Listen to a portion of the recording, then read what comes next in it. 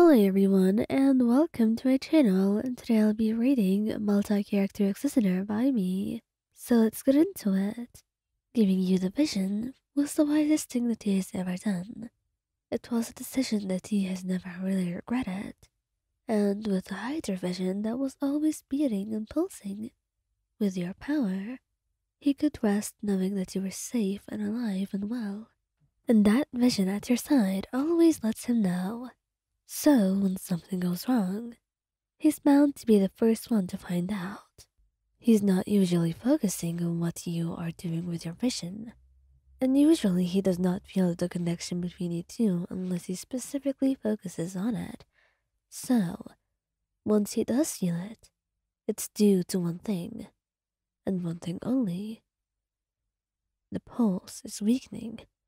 It's late at night, and some days when he can't visit you, he just does what he can and tries to feel the connection between you two through your vision.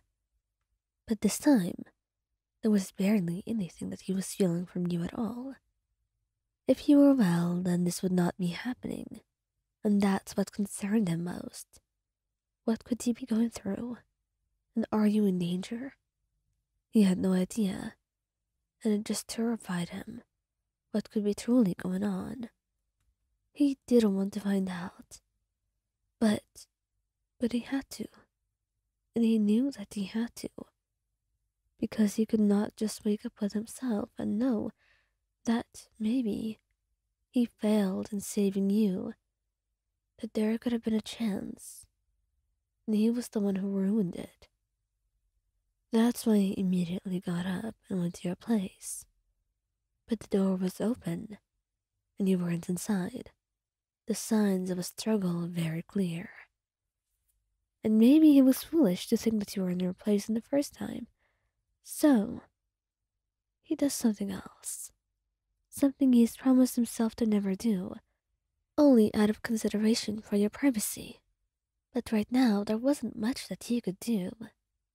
There was only the chance of you being gone completely and it was something that he was quite unwilling to ask. Something that he could not just have peace with. So that's why, immediately as he got the first chance, he told the guards, and a search order has been issued.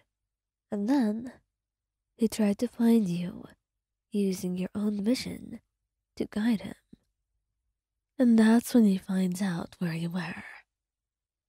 You were taken to a strange place, a place that he knows, actually, a mansion of sorts.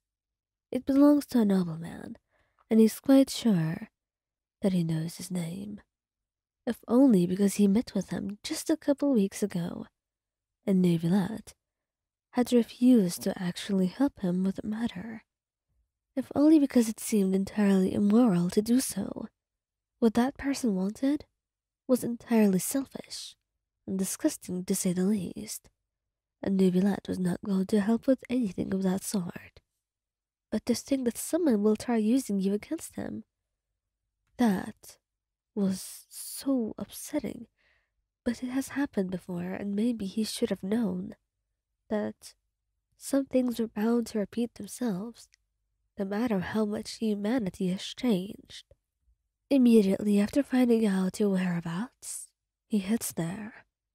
He does not take any Gardemeks with him, or guards or anyone. He knows that he alone can deal with this. Once he reaches the mansion, he does not see anyone but the guards outside. He doesn't ask them for permission. No, he storms straight in to where that vision of yours is telling him to go. That is where he will stop. And then, as he sees the nobleman try to stop him, Neuvillette pushes him away. He is not one for violence, but he's going to protect you as the situation calls for it, and right now it certainly does. He heads to the basement, and his heart beats louder with every step. How could someone do this? Why? But when he opens the door, you're inside. You're trembling. It seems like you have a fever and you're passed out. That explains it then. The weakening pulse and the panic that he felt. It must be because of your special connection.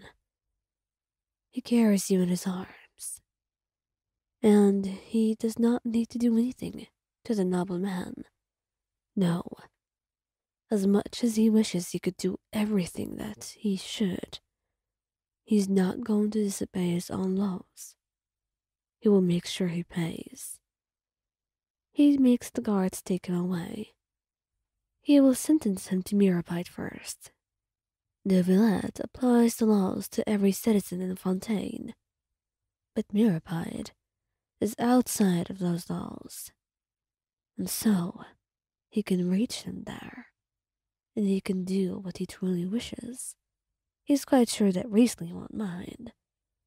But for now, you were the priority, not revenge, and nothing else.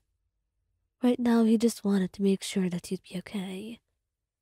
He had to take you to see Edwin, and she took great care of you. There were thankfully no more injuries, just a bruise, besides the fever. But it was not big or anything that was terribly bad. It would heal soon. She only told him to stay by her side and monitor you in case something went wrong, and gave him medicine. But his heart hurt all the while because he felt like he should have done more. He should have been there sooner. But right now, you are safe and sound and you are with him.